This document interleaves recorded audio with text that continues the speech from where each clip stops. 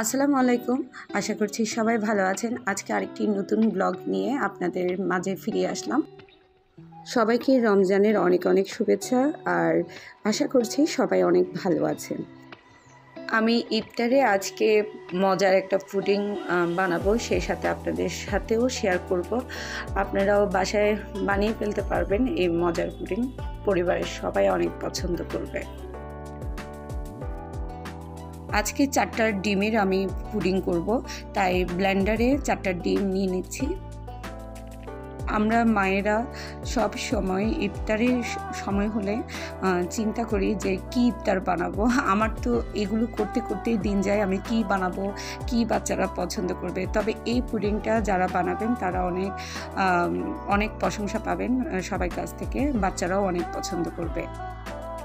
আমি সবসময় চেষ্টা করি ইফতারে ঝটপট কিছু ইফতারি বানিয়ে ফেলতে। তাও আমার কাছে মনে হয় যে পুডিংটা বানাতে খুব অল্প সময় লাগে। তাই আমি প্রায় রমজানে কিন্তু পুডিংয়ে বানিয়ে থাকি। আর আমার পুডিং বানাতে পঁচিশ মিনিটের বেশি আসলে লাগে না। আমার, শুধু আমার না, আমার মনে হয় যে কেউ তো এখানে ভিজানো পাউরুটি নিয়েছি দুই পিস। এই পাউরুটি এবং কনডেন্স মিল্ক আমি এখানে কনডেন্স মিল্ক নিয়েছি আধা কাপ। স্বাদে অসাধারণ করে দিবে আপনার পুডিংটাকে। এরপর চিনি দিয়ে দিয়েছি তিন ভাগের এক কাপ। একটুকু মিষ্টি হবে না, আপনারা যদি মনে করেন যে মিষ্টি হবে, তাহলে আপনারা চিনিটা নাও দিতে পারেন। এরপর দুধ দিয়ে দিচ্ছি এক কাপ।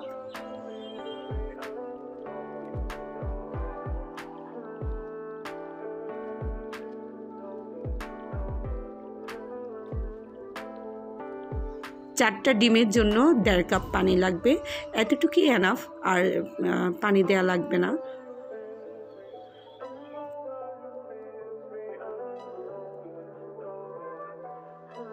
এখন ভেজানো পাউরুটি দিয়ে দিচ্ছি। ভেজানো পাউরুটি দেওয়ার পরে আমি ব্ল্যান্ড করে নিব।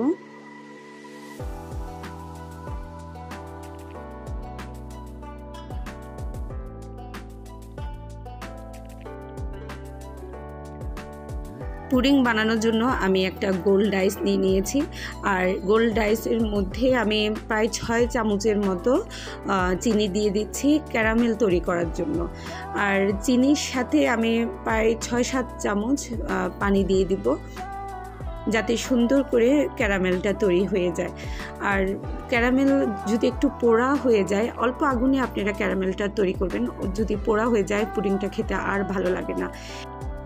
নূরের কোনো আওয়াজ পাচ্ছিলাম না। তো ওকে দেখার জন্য ড্রয়িং রুমে যাচ্ছি যে দেখি যে ও ভূতের কার্টুন দেখছে। ইদানিং ও ভূতের কার্টুন দেখা এত মানে প্রিয় হয়ে গেছে বলার বাইরে।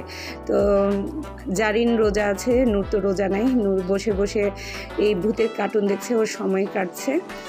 তারপরেও বসে আছে আমি শান্তি মতে একটু ইফতার বানাতে পারতেছি। না হলে তো সারাক্ষণ আমার পিছনে পিছনে দৌড়াবে।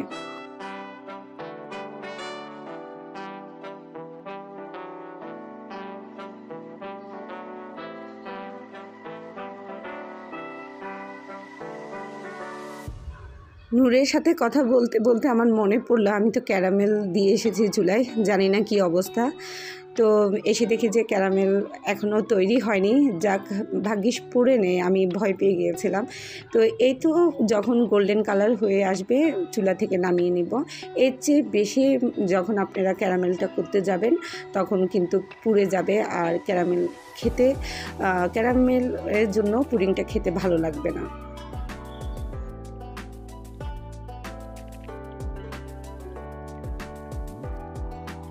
পুডিংয়ের জন্য যে মিশ্রণটা আমি করে রেখেছিলাম সেটা এখন ডাইসে ঢেলে দিচ্ছি। আর কখনোই এই পুডিংটা বানানোর সময় আপনারা ছাকনি ব্যবহার করবেন না, কারণ ছাকনি যদি ব্যবহার করেন না, পাউরুটি ছাকনিতে আটকে যাবে।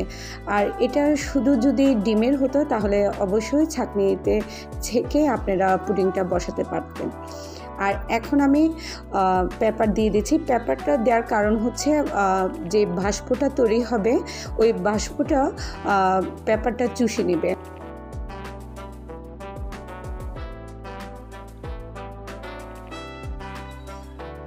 ছোলা আর পেঁয়াজু ছাড়া মনে হয় যে ইফতারের জমেই না। তো এখন আমি খুব তাড়াতাড়ি করে ছোলা বানিয়ে নিচ্ছি কারণ ইফতারের আর বেশি সময় নেই। আর এখন আমাকে এত দৌড়ঝাঁপ দিতে হচ্ছে বলার বাহিরে। এই ইফতার বানাতে এত মজা লাগে, যত কষ্ট হোক না কেন, সব কিছু যেন ইফতারের পর ভুলে যায়। তো খুব তাড়াতাড়ি করছি, এদিক দিয়ে পুডিংটাও হয়ে গিয়েছে। আমার ঠিক পঁচিশ মিনিটে লেগেছে, পঁচিশ মিনিটের বেশি একটুও সময় লাগেনি।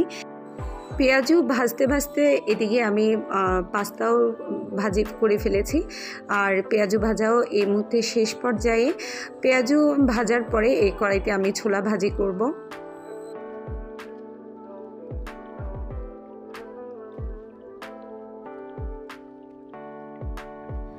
আমার হাজব্যান্ড সবসময় বাসায় ইফতার করে, তো ওর অফিস শেষ হয়েছে, ও চলে এসেছে। আর ইফতারের সময়ও বেশিক্ষণ নেই, আমি সব কিছু টেবিলে নিয়ে এসেছি। এর মধ্যে পুডিংটা আমার একদম কাটতেই ইচ্ছা করছিল না। দেখে মনটা জুড়িয়ে যাচ্ছিল, এত সুন্দর লাগছে মাশাল্লাহ আমার বাচ্চাদের স্কুল এখনও খোলা, তো বাচ্চারা অনেক টায়ার্ড বাচ্চাদের পরীক্ষাও চলছে। সবাই আমার বাচ্চাদের জন্য দোয়া করবেন। আপনাদের জন্য অনেক অনেক দোয়া, ভালোবাসা। আজকে ভিডিওটি এ পর্যন্ত। সবাই ভালো থাকবেন, সুস্থ থাকবেন। আল্লাহ হাফেজ।